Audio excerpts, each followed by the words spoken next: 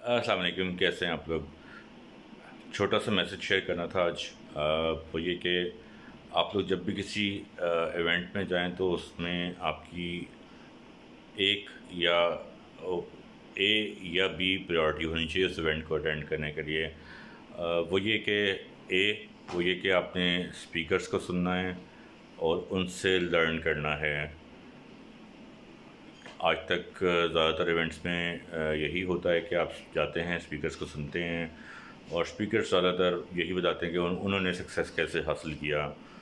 दूसरी आप वहाँ जाएँ और स्पीकर को भी सुन लें बेशक बट मोस्ट इम्पॉर्टेंटली आप लोगों से नेटवर्क करें अपने बिज़नेस कार्ड लेके जाएँ लोगों के साथ एक्सचेंज करें अपने बारे में बताएँ लोगों को लोगों के बारे में सुने कि वो क्या करते हैं और आइडियाज़ जनरेट करें। कि आप लोग, आप जितने भी लोगों से मिले हैं, उनके साथ सेपरेटली आप उन लोगों के साथ मिल के कोलेबरेट करके क्या कर सकते हैं। याद रखिएगा कोलेब्रेशन में ही आपका की एक्सपेंशन है ग्रोथ है। तो आज का मेरा मैसेज यही था। शुक्रिया। अल्लाह हाफ़